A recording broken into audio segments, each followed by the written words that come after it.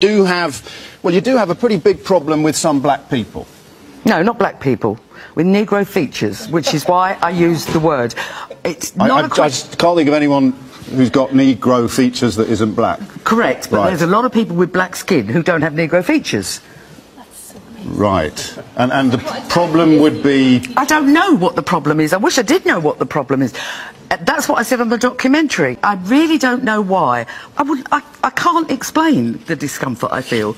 I really can't. It's something- Can I move? Am I too close? is, is, is genuine too question, is, is, that Am I too close? is that the making you I uncomfortable don't want to upset you. Not uncomfortable, no. But? let's put it this way: I wouldn't form a friendship with, with her. Well, you wouldn't have any. It's not an option, though. I don't see what issue you have. I mean, initially... You can't go in the post office with a helmet on. Ex- You I'm not can go in wearing with a that post on. office, whatever it is that you think. Okay, I'm a Muslim woman. I don't okay? mean with that what you got I know, there. but when you first talked to us, you mentioned us three as if we were some, you know, we weren't all individuals. You know, as if we've come together. We haven't. You know, each one of us is a different person. And I, if I choose to wear, you know, a headscarf over my head, that's my, I'm entitled to that. And I don't see why it would be offensive to you. Right, Pakistani person comes to Great Britain, they get caught, but they are Pakistani. Yeah.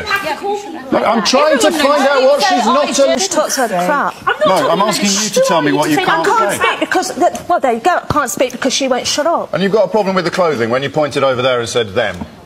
Yeah, because all those three have just been talking about me non-stop. I haven't been talking about Yes, I've got you bare things to do, you know. Clothing don't, don't, don't bother me, they dress all right. Okay. What I don't like is um, the pillar box, they who- shouldn't, they shouldn't wear it. What, you would ban Because that? it's, it's, yeah, I would. Okay, who's allowed to... No, no disrespect to him. I've got loads of Muslims. Sorry, I have got Muslim sorry. friends. I'm sorry, that, that, that isn't a, um, that is not a get-out clause. You Amber, can't- tell me you what you're hearing. Saying such offensive things and then turn around and say some of my best friends are Muslim. Excuse me, I'm speaking Give her a now. chance, Stella. And and when you come out and you say things like that, it's so disrespectful. What the problem is, it's not that you're not allowed to say anything anymore. If you were speaking about somebody that was an individual and you had a genuine problem with them, that would be something. But when you start stereotyping, and when you start talking about people's features, I can't do anything about this. This is why racism doesn't make sense, because a woman who looks like that will look at a woman that looks like me and look down on me. How does that make any sense?